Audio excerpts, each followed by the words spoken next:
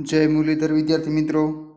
આજના લેક્ચરમાં આપ સૌનું સ્વાગત કરું છું વિષય ગણિત ધોરણ ચાર, જેમાં પ્રશ્ન નંબર આઠ જોવાનો છે કે કોષ્ટકમાં ખાલી સ્થાન પૂર્ણ કરો અને પ્રશ્નોના જવાબ લખો.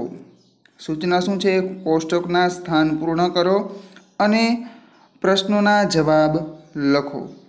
તો ખાલી સ્થાન કયા કયા હતા? તો કે અહીંયા. બરોબર છે? એ ખાલી જગ્યાઓ જે બધી હતી, તે આપણે પૂરવાની હતી. બરોબર છે? પૂરવાની છે. તો એક કોષ્ટક આપેલું છે તેમાં આપણને ક્રમ આપેલા છે, બીજું છે છોડના નામ આપેલા છે. ત્યાર પછી ગયા મહિને અને આ મહિને, ગયા મહિને કેટલો છોડ વધ્યો છે તેની માહિતી અહીંયા આપેલી છે. આ મહિનામાં છોડ કેટલો વધ્યો છે એની માહિતી આપી છે. તો વધેલા છોડની બે મહિના વચ્ચેની, એટલે કે અહીંયા પાંચ સેન્ટીમીટર છોડ વધ્યો હતો. અહીંયા સાત સેન્ટીમીટર વધ્યો. તો એ એક મહિનાની અંદર કેટલો, કેટલા સેન્ટીમીટર છોડ વધે છે તે આપણે જાણવાનું છે. તો આપણને કયા કયા છોડ આપેલા છે? તો કે તુલસી, લીમડો, આંબો, વાસ અને ગુલાબ. બરાબર? આ પાંચ છોડો આપેલા છે. તો સૌથી પહેલું છે તુલસી. ગયા મહિને પાંચ સેન્ટીમીટર વધ્યો હતો આ મહિને સાત સેન્ટીમીટર વધ્યો. તો કેટલા સેન્ટીમીટર વધ્યો? તો કે સાતમાંથી પાંચ આપણે બાદ કરી દે, તો આપણને જવાબ મળી જાય સાતમાંથી પાંચ. આપણે માઇનસ કરીએ તો કેટલા સેન્ટીમીટર વધે? બે. તો અહીંયા આપણને બે જવાબ આપેલો છે. બરાબર? ત્યાર પછી છે લીમડો. લીમડો ગયા મહિને દસ સેન્ટીમીટર વધ્યો. બરાબર છે? અને આ મહિને કેટલો છે? ચૌદ સેન્ટીમીટર તો મોટા આંકડામાંથી નાનો આંકડો બાદ કરીએ તો કે ચૌદ માઇનસ દસ. ચૌદ માઇનસ દસ કરીશું તો કેટલા સેન્ટીમીટર વધશે? ચાર સેન્ટીમીટર વધ્યો. આ મહિનામાં છે એ કેટલા સેન્ટીમીટર વધ્યો? ચાર સેન્ટીમીટર, બરાબર? ત્યારબાદ આંબો.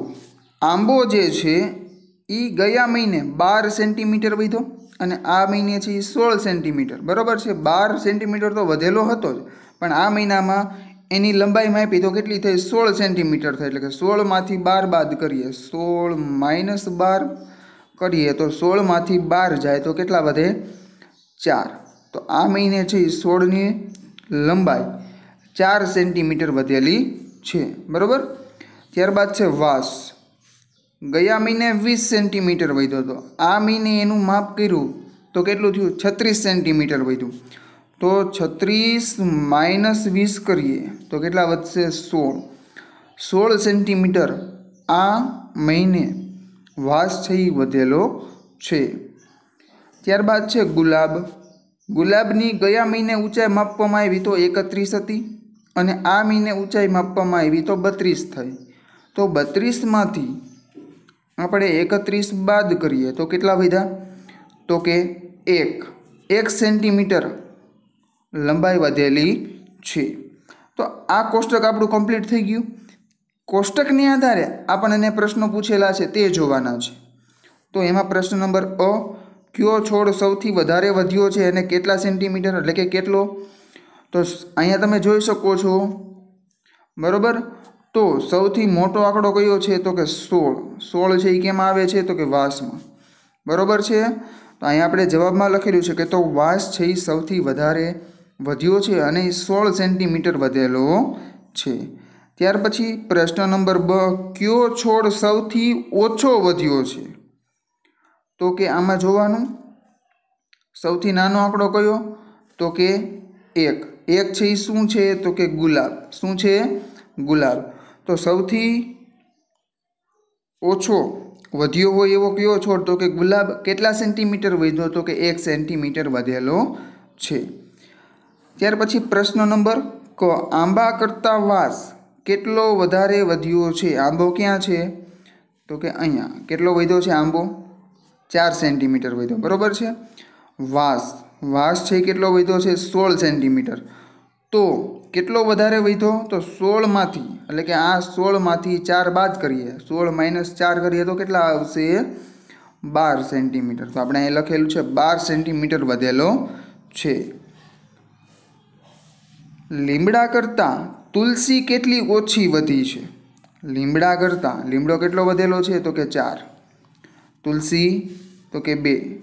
બરાબર છે? કેટલી ઓછી વધી છે? તો કે ચારમાંથી બે માઇનસ કરીએ તો કેટલા આવશે? બે. બે સેન્ટીમીટર છે એ ઓછી વધેલી છે. લીમડા કરતાં તુલસી બે સેન્ટીમીટર ઓછી વધેલી છે. ત્યારબાદ છે, તુલસી અને ગુલાબમાં વધેલી ઊંચાઈનો તફાવત કેટલો છે? તુલસી અને ગુલાબમાં વધેલી ઊંચાઈનો તફાવત કેટલો છે. તો તુલસી કેટલી વધેલી છે? બે સેન્ટીમીટર. અને ગુલાબ કેટલું વધેલું છે? એક સેન્ટીમીટર. તો મોટી સંખ્યામાંથી નાની સંખ્યા બાદ કરો. મોટો આંકડો બે. બરાબર છે? એમાંથી એક બાદ કરો. તો બે માઇનસ એક કરીએ તો કેટલો જવાબ આવ્યો? એક. તો આપણે અહીંયા લખેલું છે તફાવત. તુલસી અને ગુલાબનો વચ્ચેનો તફાવત લીધો તો એક સેન્ટીમીટર જવાબ આવેલો છે. ત્યારબાદ છે પ્રશ્ન નંબર નવ. અંતર શોધવાનું છે. સૂચના એવી આપેલી છે કે અંતર શોધો. તો એની અંદર આપણને સ્ટોપ આપેલા છે. ઘર, મંદિર, બજાર, બસ સ્ટેન્ડ અને શાળા. બરાબર? આ પાંચ સ્ટોપ છે અને દરેકે દરેકનું અંતર આપેલું છે. બરાબર? તો ઘરેથી તમે મંદિરે જાઓ તો એનું અંતર છે પાંચ કિલોમીટર. મંદિરેથી બજાર જાઓ તો એનું અંતર છે ત્રણ કિલોમીટર. બજારથી બસ સ્ટેન્ડ જાઓ તો એનું અંતર છે આઠ કિલોમીટર અને બસ સ્ટેન્ડથી શાળાએ જાઓ તો એનું અંતર છે છ કિલોમીટર.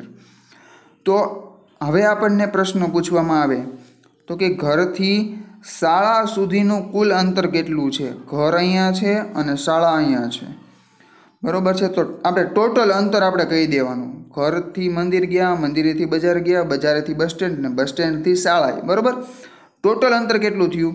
તો કે પાંચ વત્તા ત્રણ. પાંચ વત્તા ત્રણ વત્તા આઠ વત્તા છ. બધાનો સરવાળો કરીશું તો કેટલા આવશે? બાવીસ કિલોમીટર. ટોટલ અંતર કેટલું થશે? બાવીસ કિલોમીટર. બરાબર? ત્યારબાદ છે બજાર. હાલો, બજાર અહીંયા રહી. બજારથી શાળા સુધીનું અંતર. શાળા અહીંયા છે. બજારથી બસ સ્ટેન્ડ. કેટલા કિલોમીટર? આઠ કિલોમીટર. અને બસ સ્ટેન્ડથી શાળા કેટલા કિલોમીટર? છ કિલોમીટર. તો આઠ ને છ કેટલા થઈ ગયા? ચૌદ કિલોમીટર. બરાબર? તો આપણું અંતર, આપણો જવાબ શું આવેલો છે?